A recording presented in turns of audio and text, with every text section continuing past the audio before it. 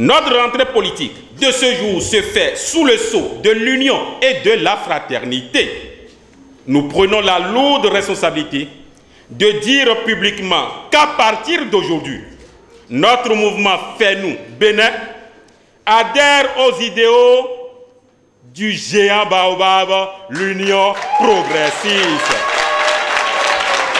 Oui, je dis bien l'Union progressiste, car jusqu'à ce jour, il demeure le plus grand parti politique au Bénin. Mieux, aux dernières législatives de 2019, notre Baobab est venu en tête avec la majorité des députés à l'Assemblée nationale. C'est par cette déclaration solennelle que le jeune bulldozer de la sixième circonscription électorale, le président de la force des élites nationales pour l'Union du Bénin, entendez Fenou, Guy Woku confirme son adhésion à l'Union progressiste et reçoit, pour ainsi dire, l'approbation de ses pairs, en l'occurrence le premier citoyen de la commune d'Abomey-Calavi.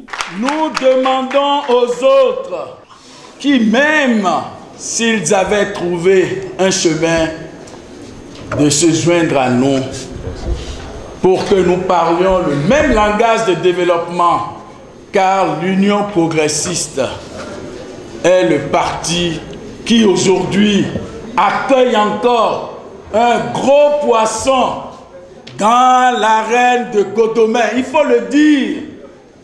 N'en déplaise à ceux qui ne veulent pas l'entendre, Guy est un élément important et nous l'a dit en se joignant à l'Union progressiste qu'à la vie est bloquée. Je ne suis pas là en tant que maire. Ce soir, je représente avec tous les membres que vous voyez ici pour vous accueillir les membres du bureau politique de l'Union progressiste. Et nous vous accueillons à bras ouverts pour vous dire vous n'avez pas fait le mauvais choix. Chants, danse et animations folkloriques étaient à l'affiche de ce géant regroupement politique de la vague jeune afin de lui donner un cachet spécial.